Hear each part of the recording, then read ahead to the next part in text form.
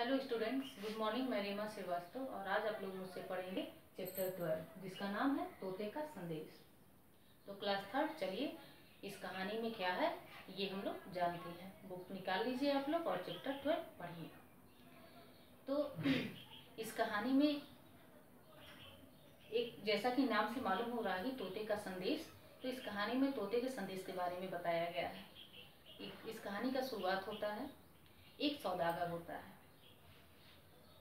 जो कि भारत व्यापार करने के लिए आने वाला होता है। तो वह अपने घर के सदस्यों से बोलता है कि मैं भारत जा रहा हूँ व्यापार के लिए और यदि तुम्हें वहाँ की कुछ चीज़ें मंगवानी हो, जो मशहूर चीज़ें हैं, जो कि तुम लोगों को पसंद हो तो बता दो, मैं लेते आऊँगा। सभी लोगों ने अपने अपनी पसंद की चीज़ें बताई, किसी ने हीरो का हार बताया, किसी ने मोती का माला बताया, किसी ने सूती रेशमी कपड़े बताए। उस सौदागर के घर में एक भारतीय तोता रहता है, जो कि सोने के पिंजरे में बंद रहता है। तो सौदागर को थोड़ा मज़ाक समझ में आता है और ऐसे ही मज़ाक में तोते से पूछ बैठता है, हे तोतेलाल मैं तुम्हारे देश जा रहा हूँ। तुम्हें कोई चीज़ मंगवानी हो तो कहो। तोता कहता, नहीं, मुझे कोई चीज़ नहीं मंगवानी है। लेकिन यदि वहाँ पे तोते पक्षी आपको नज़र आए तो मेरा एक संदेश उनसे कह दीजिएगा। सौदागर कहा, ठीक है, क्या है संदेश? बताओ। तो तोता कहता है, उन तोतों से कहना, उन पक्षियों से कहना कि, हे पक्षियों तुम यहाँ खुले आकाश में आज़ादी से उड़ान भरते हो, किंतु तुम्हारा एक भाई बुखारा नगर में सोने के पिंजरे में कैद है। क्या यह मुनासिब है? ऐसा उस तोते ने तुम्हारे लिए संदेश भेजा है, जो कि पिंजरे में बंद है। पहले तो वो हंसने लगा, सौदागर। कि ये कौन सा संदेश हुआ? लेकिन फिर कहा, मैं तुम्हारा संदेश अवश्य कह दूँगा। उसके बाद सौदागर भारत के लिए निकल पड़ता है। भारत में उसका अच्छा समय बीतता है अच्छा व्यापार भी करता है, बहुत सारा धन भी कमाता है और फिर वापस होने के पहले वह परिवार के सदस्यों का जो कहा गया था सामान लाने के लिए, उनके द्वारा जो कहा गया था, उन सभी वस्तुओं की खरीदारी भी करता है और निकल पड़ता है। बुखारा नगर के लिए, क्योंकि सौदागर बुखारा नगर का रहता है। रास्ते में एक जंगल पड़ता है। जब वो वापस होता है तो रास्ते में एक जंगल पड़ता है, जहाँ बहुत सारे तोते पक्षी होते हैं, झुंड के झुंड होते हैं। तो जब उन तोतों को देखता है सौदागर तो उसे अपने तोते का संदेश याद आ जाता है। तो वह एक तोते के झुंड की तरफ़ मुँह करके बोलता है कि, हे तोते,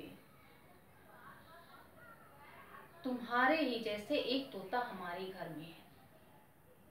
उसने तुम लोगों के लिए एक संदेश भिजवाया है। उसने कहा है कि, हे तोते पक्षी, तुम यहाँ आज़ादी से उड़ान भरते हो और तुम्हारा एक भाई बुखारा नगर में सोने के पिंजरे में कैद है, क्या यह मुनासिब है?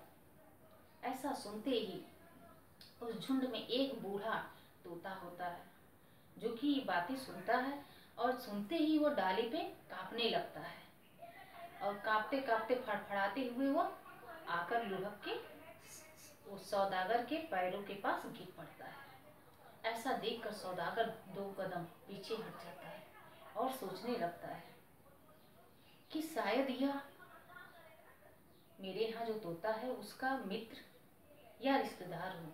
या फिर बूढ़ा है तो हो सकता है उसका बाप ही हो, पिता ही हो। शायद उसके संदेश के आघात से ही है, मर गया, इसकी मृत्यु हो गई। उसे भी थोड़ा कष्ट होता है, लेकिन फिर वह चल देता है।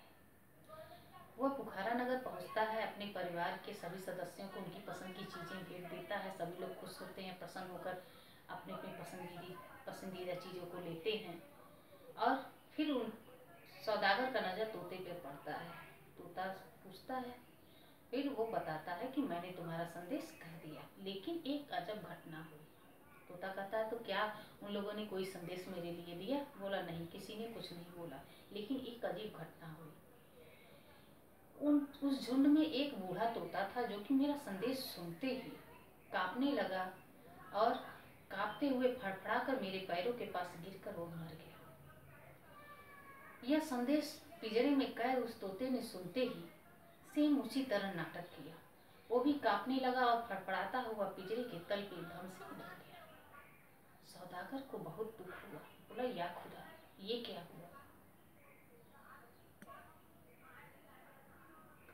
इसको भी लगता है कि इतना दुख पहुँचा कि ये भी मर गया।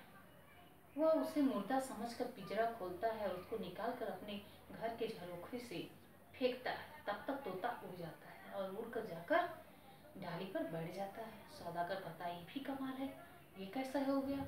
फिर वो तोता समझाता है कि आपने जिसे मेरा संदेश सुनाया, वाकई में वो मेरे पिताजी थे और उनका यह सांकेतिक संदेश था। यदि वह शब्दों में आपसे कुछ कहते तो आप वो संदेश मुझे नहीं देते। इसलिए उन्होंने मरने का नाटक किया और वह उन संकेतों के माध्यम से मुझे ये संदेश दिया कि हे प्यारी पुत्र, यदि तुम आज़ाद होना चाहते हो तो मेरे जैसे मरने का नाटक करो।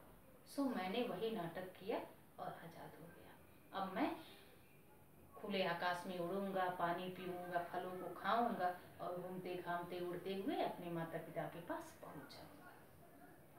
तो ये था इस कहानी में। तोते के संदेश नामक कहानी में ये सारी घटनाएँ।